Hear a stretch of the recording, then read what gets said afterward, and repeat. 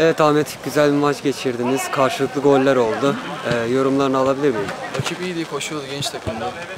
Ligden çok ciddiye almadık ama gerçekten koşuyorlardı, iyilerdi yani. Dörtte dört gidiyoruz. Bu sene e, iyiyiz, devam ediyoruz. Bu maçı Muharrem kardeşim armağan ediyor. Osman konuştu. Osman. Bayramda tatilden, tatilden sonra tekrardan lige geri döndük. İyi de döndüğümüzü düşünüyorum. Maçın başında biraz savsakladım, savsakladık, ciddiye almadık fazla. Rakibi küçümsedik ki bunu yapmamamız gerekiyor. Maçta oynadıkça daha da bu, bu konuda da daha iyi seviyeye çıkacağımızı düşünüyorum.